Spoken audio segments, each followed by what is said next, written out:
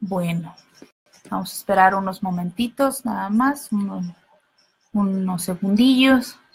Parece ser que ya estamos en vivo en ambas plataformas. Saludamos aquí a nuestros amigos en Facebook Live, acá abajo. Saludo y saludamos también aquí arriba a nuestros amigos en Periscope. Sí, está muy serio, ¿verdad? Aquí arriba en Periscope, saludamos.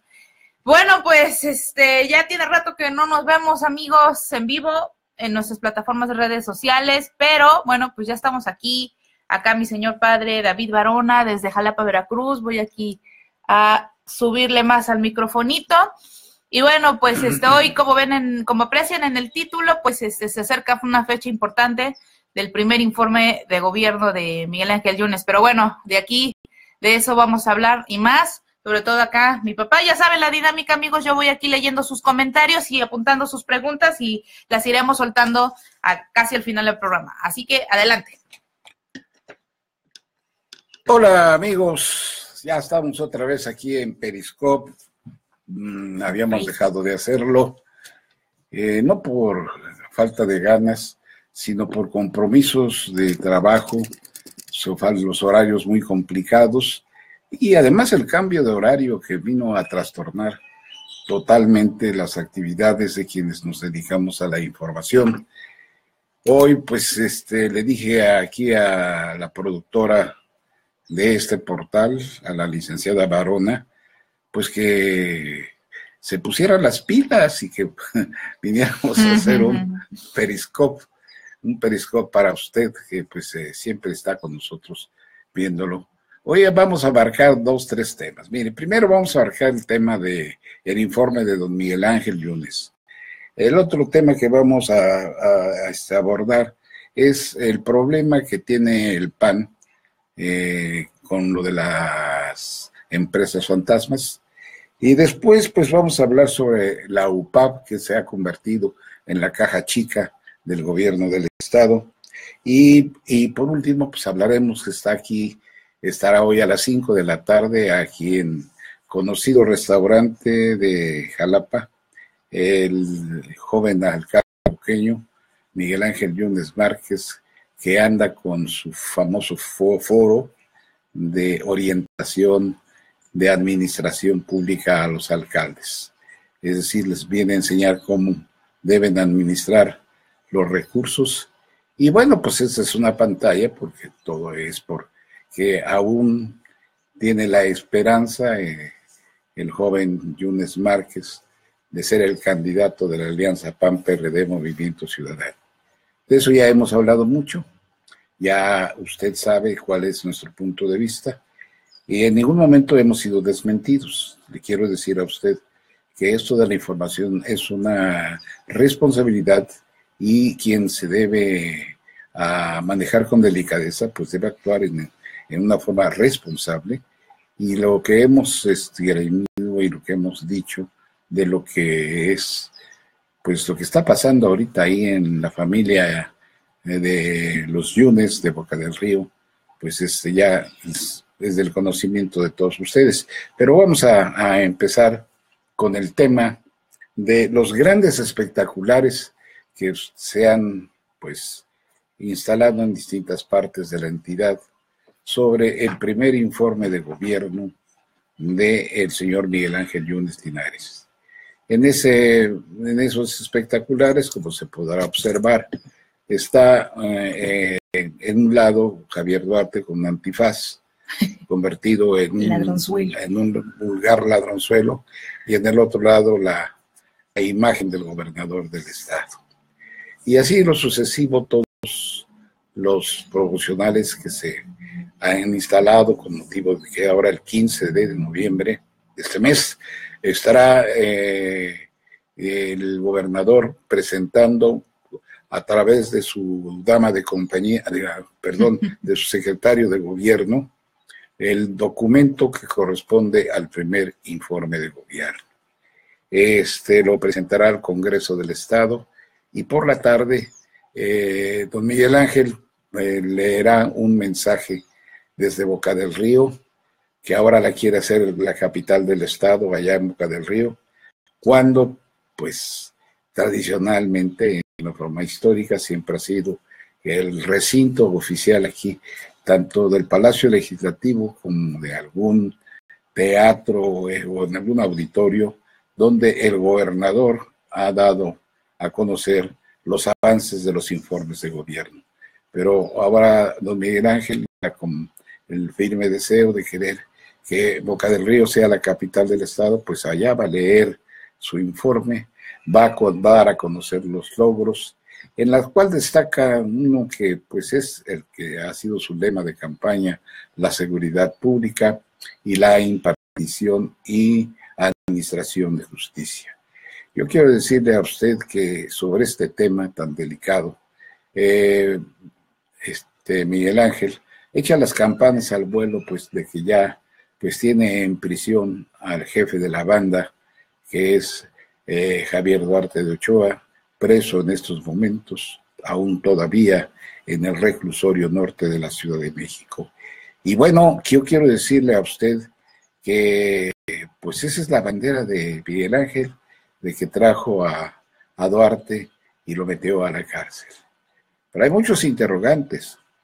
Mire usted, hay pues algunos peces gordos, no tantos, dos, tres, cuatro, cuando mucho, y lo demás es morraya, la que se encuentra recluida en el penal de Pacho Viejo. Pero los principales ladrones, los principales sinvergüenzas, los que compraron la impunidad y que no se entiende el por qué, nunca han sido llamados ante la justicia. Y quiero decirle a usted que la, la lista es muy amplia. Mire usted, está Juan Manuel del Castillo, que es nada menos que el autor de la famosa licuadora de la Secretaría de Finanzas, ahora diputado local y quien siente que trae a Dios de las orejas porque al parecer pues soltó algo muy fuerte que no le permite a la autoridad tocarlo. Es decir, se siente intocable Juan Manuel del Castillo y el señor diputado que también es un lastre, es una vergüenza, es una porquería de hombre, que es el señor Vicente Benítez, que ahora milita en el partido Nueva Alianza.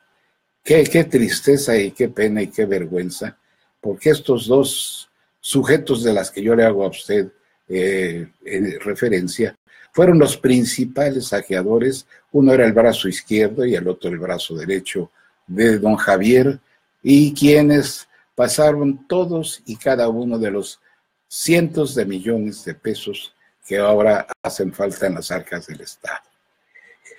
Luego está pues también este Tarek Abdallah, que fue tesorero, diputado federal y que ha estado brincando de un lado para otro tratando de salvar un juicio de procedencia para que sea desaforado en la Cámara de Diputados y cubierto con el manto de la impunidad de su partido, el PRI, Tarek sigue libre disfrutando de los grandes millones.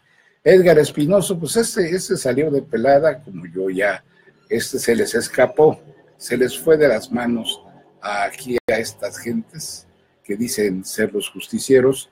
Ahora, pues Edgar Espinoso salió con rumbo a Argentina, con un pasaporte falso, y de ahí se fue a Bariloche y demás no sabemos, de acuerdo a las fuentes de información que nosotros tenemos y a las fuerzas de inteligencia que nos hicieron llegar ese informe. No se ha desmentido y aún el propio gobernador anduvo investigando si era cierta esta información, la cual le dijeron que era verdad. Pero bien, mire, también está Ricardo Sandoval, está Fernando Benítez Obeso, está Alberto Silva y Gabriel de Antes.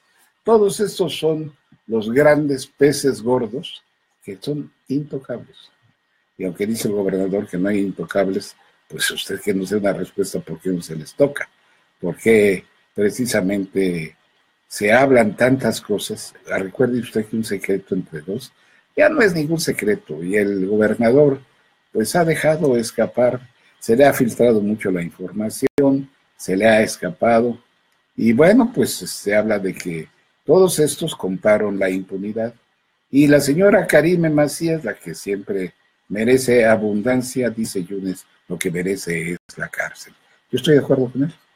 Efectivamente, es una de las aseveraciones en la cual yo estoy de acuerdo con el señor Miguel Ángel Yunes, que esta señora debe estar es en la cárcel porque ella fue un factor determinante para que el trastornado de Javier Duarte cometiera tantas estupideces y tonterías robando el dinero de los veracruzanos. Pero no es ningún ángel de la pureza Javier. Javier sabía lo que estaba haciendo, pero sus cómplices, de las cuales yo le acabo de decir a usted, ahí andan campantes como si nada. El propio Gabriel de antes, quien presume que amparos y amparos, y es, aun cuando se da a conocer que la justicia federal le ha negado la protección de la justicia federal, el señor le va y le viene. Es decir, no, no, no es la justicia que se haya medido con la misma vara. Es decir, la justicia ha sido selectiva. Y eso a Miguel Ángel pues le resta todo lo que pudiera darle credibilidad. Y se trajo a Javier Duarte porque eso era una primicia del gobierno federal, porque ya estaba, le estaba haciendo mucho daño al gobierno que encabeza Enrique Peña Nieto, y fue precisamente el presidente de la República quien aceleró desde Guatemala, bueno, pues este, su eh, regreso a la Ciudad de México para ser puesto en manos de la justicia y en manos de la Procuraduría General de la República. Los delitos federales que se le imputan, pues ah, mm, dice la defensa el licenciado del Toro, que son endebles y que de acuerdo con lo que establece el nuevo, el nuevo sistema penal acusatorio, eh, Duarte, allá por enero, podía alcanzar la libertad, cosa que no lo creo y cosa que si fuera cierto sería reprobable, porque un eh, sujeto como este señor Duarte, que hizo de las finanzas públicas lo que quiso, no tiene derecho a la libertad hasta tanto cuanto no se recupere todo lo robado, todo lo saqueado. Si lo que ha informado Yunes Linares ha sido una bicoca, no ha sido nada absolutamente en comparación de los 140 mil millones de pesos que dicen que se andan brincando de un lado para otro. Y bueno, el presidente de la República debidamente informado, lo trae mucho, muy molesto, porque la justicia en Veracruz ha sido selectiva.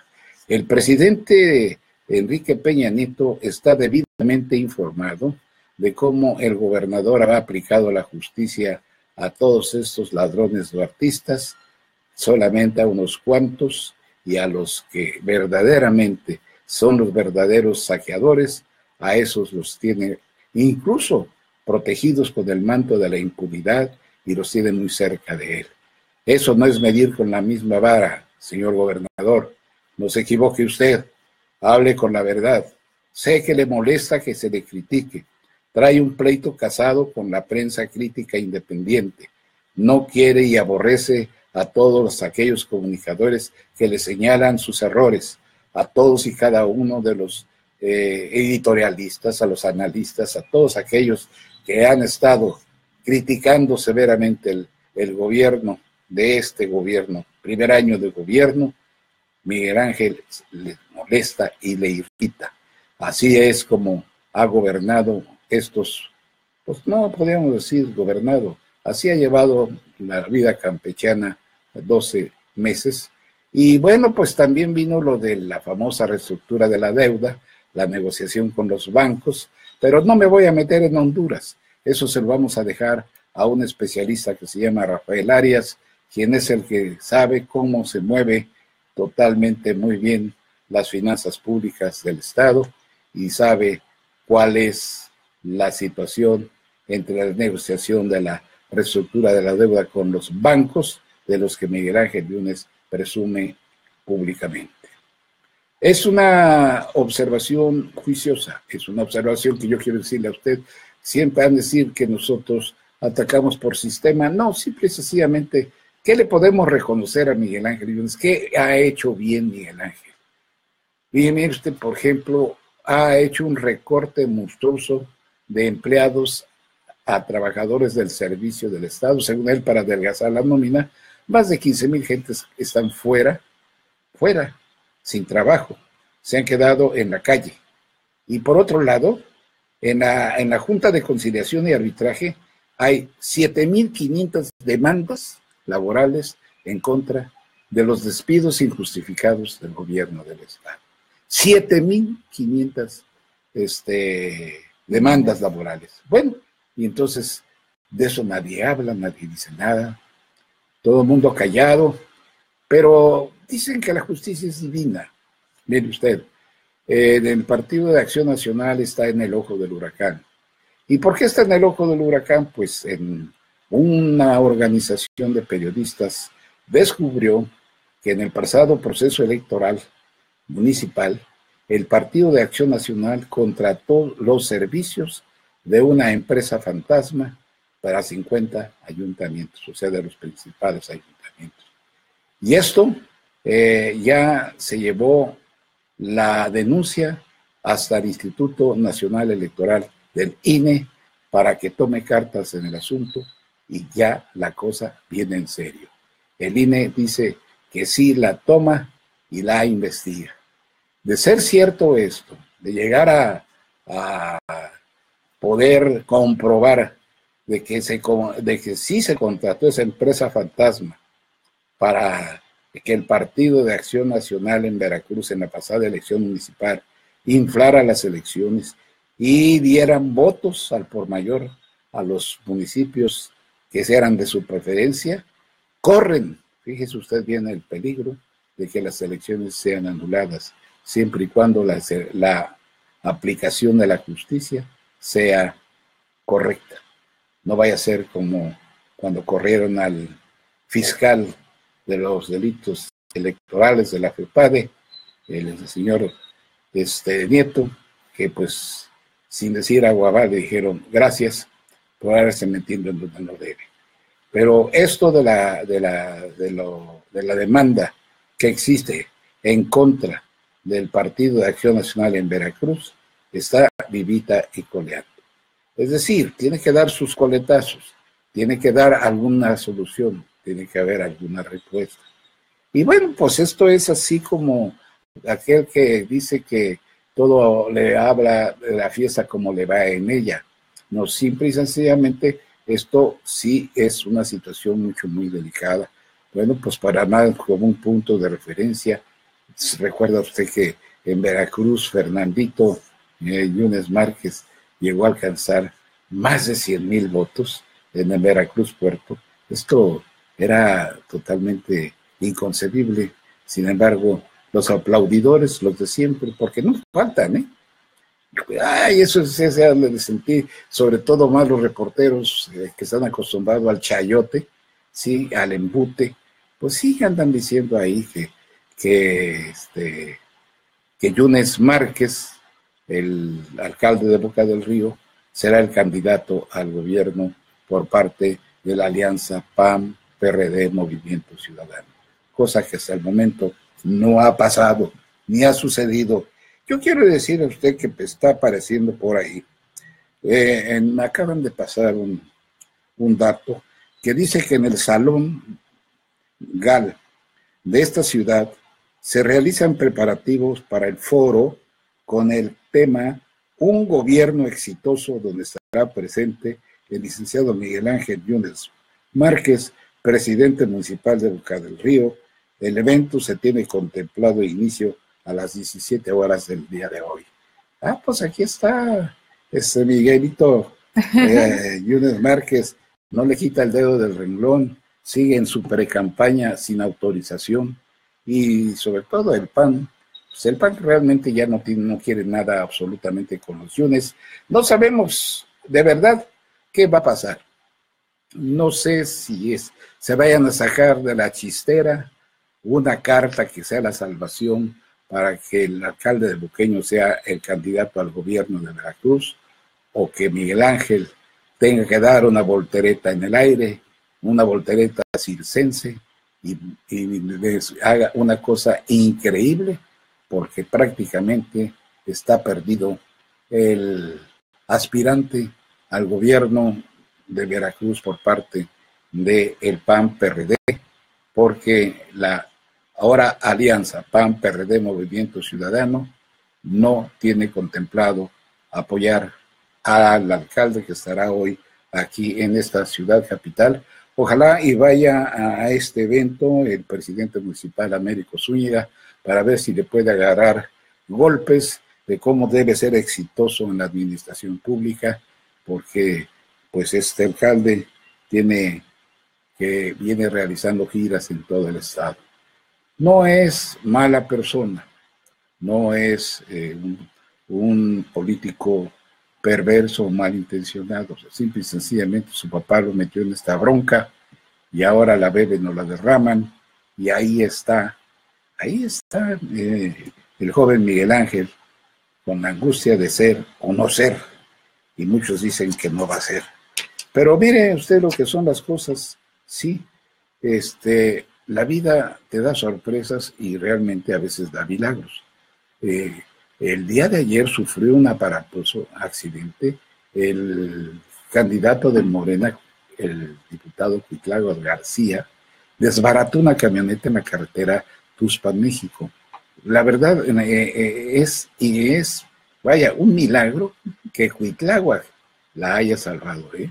La camioneta quedó totalmente destrozada con las llantas hacia arriba y es un accidente por alta velocidad y según el propio Huitláhuac dice que se le había volado un neumático. Pero pues ahí está la, lo que dice suerte, te dé Dios que el saber poco te importe, la suerte sigue con Huitláhuac. Ojalá la suerte le siguiera en las urnas, porque también parece ser que ya es el candidato formal de Morena al gobierno del Estado para el 2018. Y he dejado para el último algo que es demasiado preocupante.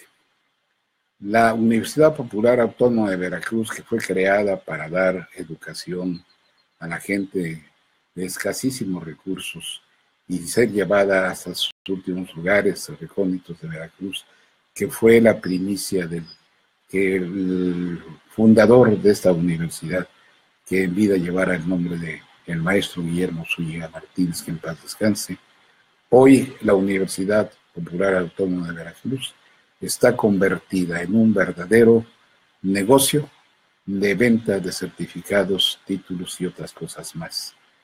Hay muchas denuncias, hay muchos comentarios, pero sobre todo porque hay un señor ahí de nombre Aldo Alonso eh, Santillán.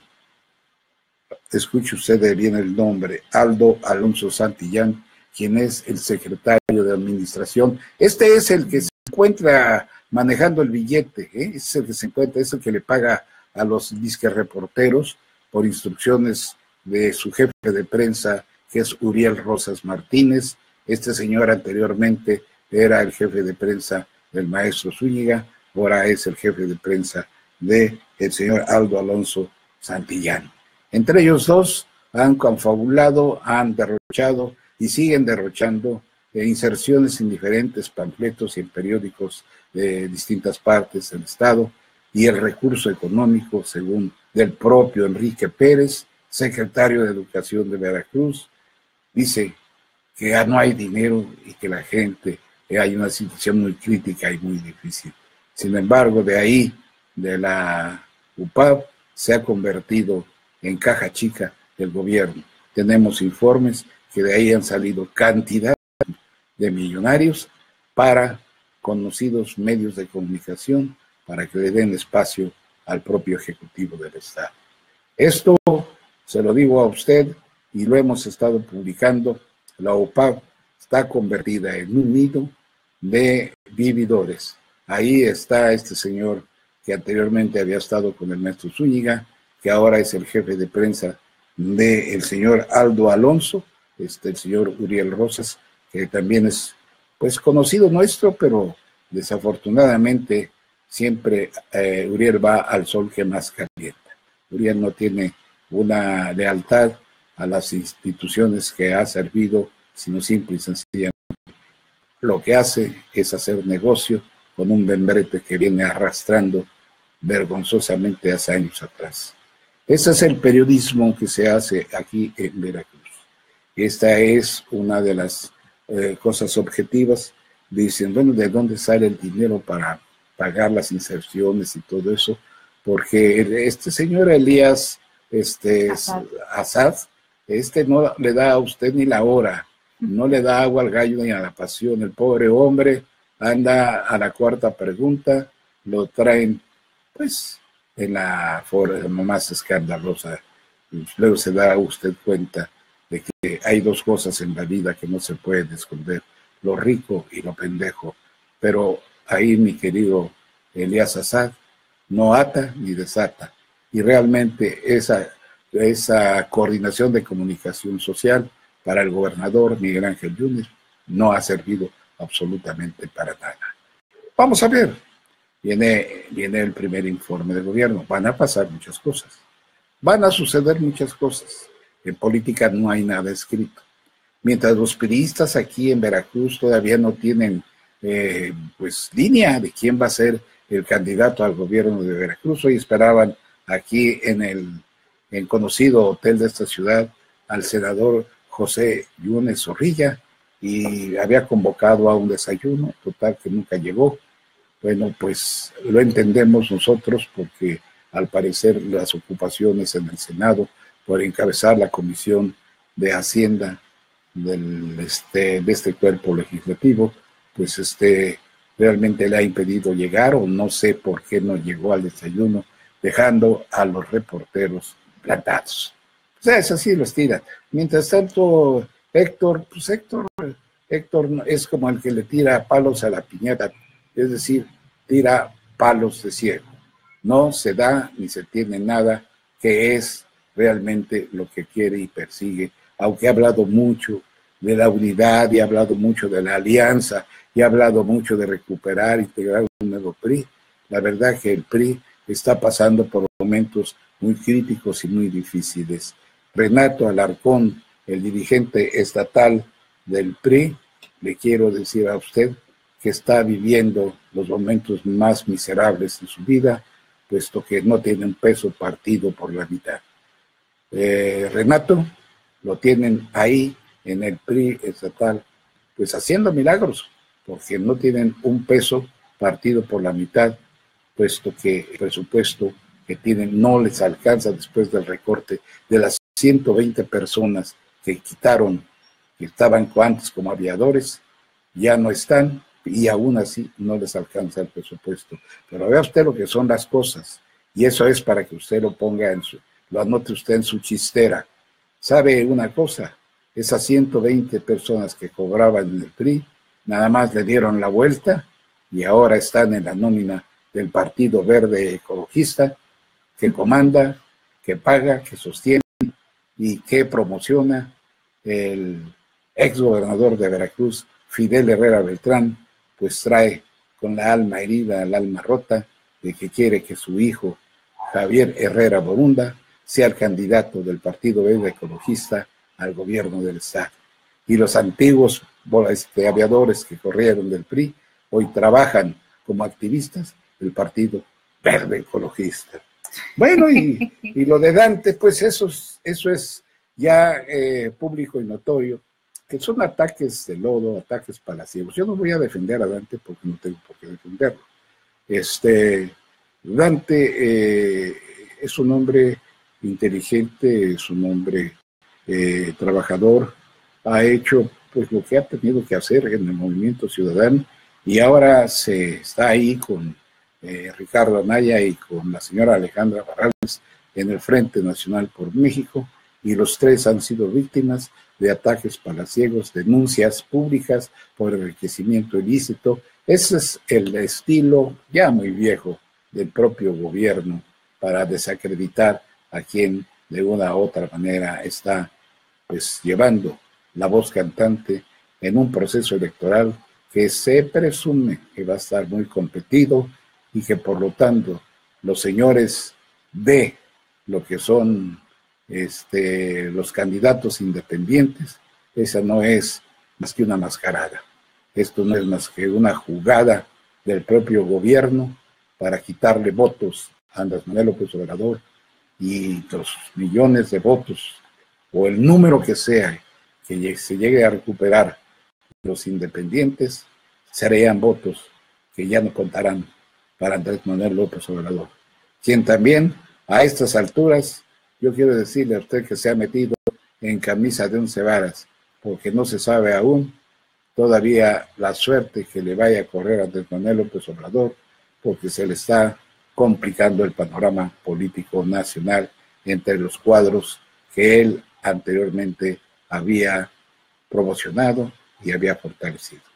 Amigos míos, yo quiero decirle que estamos tratando de hacer eh, periscopes que lleguen a, a, usted, pero que lleguen con toda claridad y con toda objetividad. Yo quiero decirle, escríbame, dígame, coménteme, dígame lo que quiera.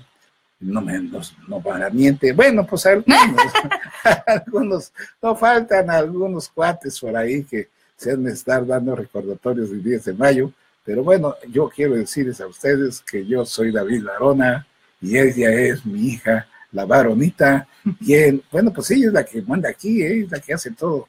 Yo aquí...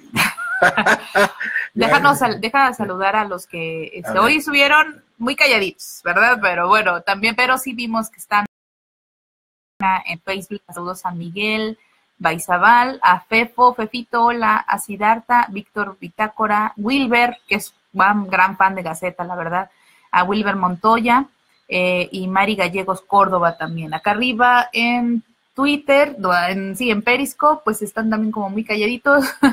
Pero bueno, pues ya saben que vamos a cerrar transmisión aquí para Facebook Live y para este Periscope y pues vamos a subirlo posteriormente a nuestro canal de YouTube, que debo decir, la verdad es que este va muy bien, va constante, que eso es lo que nos gusta, este, a pesar de que, pues sí, ha descendido algo para todos los youtubers, ya que les he platicado los que me han seguido y los, los que he comentado cosas de redes sociales, cómo, cómo está este tenor de las redes sociales, sobre todo del comportamiento de YouTube, pero este, la verdad que eh, pues vamos bien, ya vamos por arriba de los 3 millones y 200 mil y tantas este, vistas en general del canal, este, y de 7 mil y tantos suscriptores, que bueno, es muy bueno para, para la trinchera en la que estamos, mis estimados amigos. Gracias a José González, muchos saludos.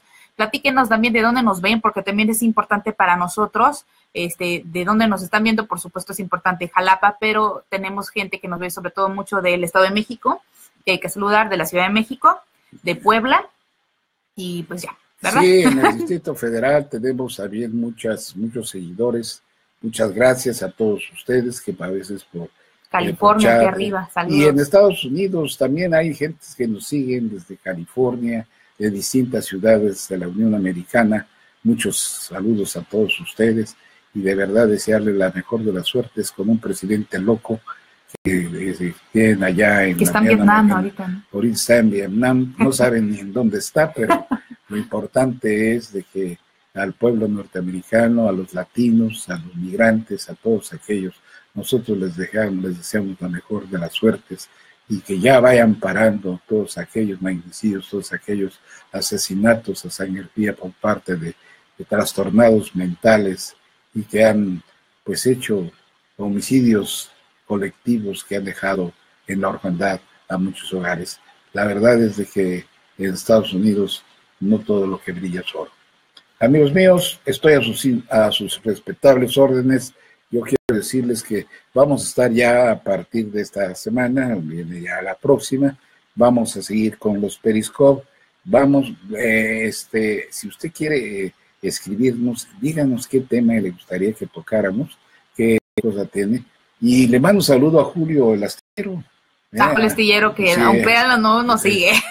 es nuestro seguidor, Julio. Y ya tiene ratillo, entonces gracias, porque pues es un gran incentivo, ¿no? Julio estaba enfermo de una gripa terrible, bueno, y Adela Micha también, mi querida Adela Micha, que hoy por la mañana yo estaba... Fan de la Adela Micha. Eh. Este, no. Fan, fan, se hace, se hace, pero sí. No, esa es una amiga mía, a quien yo quiero mucho, Adela Micha. Hoy la vi ahí con este Noroña. Y bueno, pues ya sabe usted que del mundo del periodismo no todos los, no son todos los que están ni están todos los que son. Y ahí la dejamos de ese tamaño. Hasta la próxima. Gracias amigos, saludos para todos en Periscope, Facebook, Twitter. Síganos, noticiero en vivo lunes, miércoles y viernes once y media hora ya es un nuevo horario, así que despedimos aquí arriba a nuestros amigos de Tweet, de Periscope y a salir. Y por aquí abajo, gracias. Déjenos ahí sus comentarios, ahorita los vamos a ir ya leyendo. Bye. Mm. Vamos a cerrar. Ahí va. no quiere. Ok. Está rebelde esto.